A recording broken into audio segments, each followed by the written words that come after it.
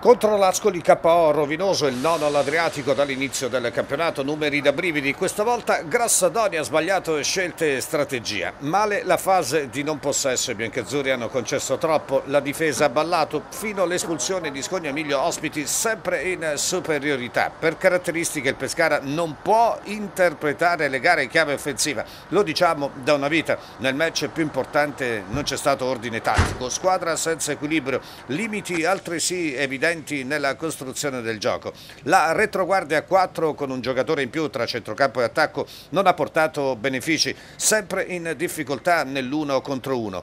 L'atteggiamento fondamentale non è mai dettato dai freddi numeri di un sistema di gioco. A rilevare sono sempre la compattezza e naturalmente le caratteristiche dei giocatori. Compattezza che contro l'Ascoli è venuta meno, distanze tre reparti non rispettate, paradossalmente meglio in 10 che non non in parità numerica. Reazione nervosa significativa, addirittura il sorpasso doppietta di Dessena in avvio di ripresa. L'ingresso di Seter una buona idea, col colombiano si è cercata di più la verticalità della manovra.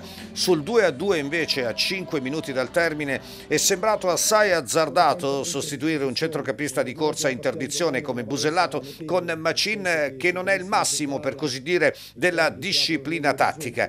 Ok, il guineano italiano ma al posto di un attaccante, per esempio Odgard, che aveva speso tanto. Grassadonia insomma non si è accontentato e ha pagato dazio, provare a vincere sì, ma in 11 e non in 10 a pochi minuti dalla fine, precisamente 8 recupero compreso. Senza dubbio un errore contro una diretta concorrente. A partire dalla disastrosa gestione Oddo il gioco non si è mai visto. Con una difesa a 4 per lo sviluppo della manovra diventa determinante il play. Non può essere essere di certo Busellato che ha altre peculiarità. Il limite della sfida con l'Ascoli è stato anche questo, con una difesa a 5 che a nostro avviso resta la più congeniale alle caratteristiche della rosa. Puoi anche decidere di giocare direttamente sugli esterni senza passare per il centrocampo. Questa volta sì, Grassadonia se l'è giocata male.